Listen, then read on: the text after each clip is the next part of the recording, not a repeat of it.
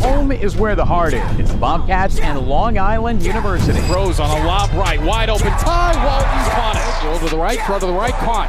Through a tackle, near side sideline, and into the end zone. Backside pressure goes down. And the running back ran right, wheel route right, caught wide open on the near side. Mason Williams.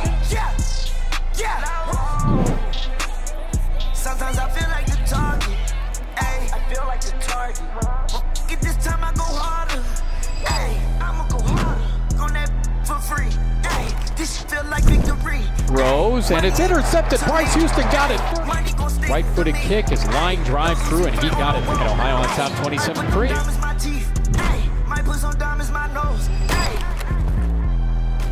Ohio's 1 0 at home as you can paint this green and white.